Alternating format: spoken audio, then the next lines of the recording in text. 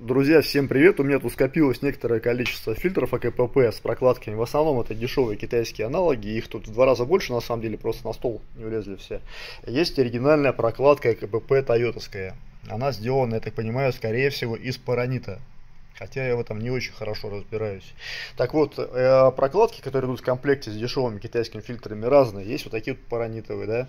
Есть такие вот резиновые просто обычные. И резина разная абсолютно. Есть толстая, есть тонкая, есть вообще какая-то тщедушная.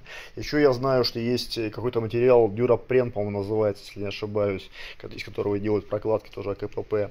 Так вот, я хотел бы у вас узнать, у кого был опыт установки прокладок, каких для КПП. Ставите ли вы оригинальные или ставите ли вы дубликатные?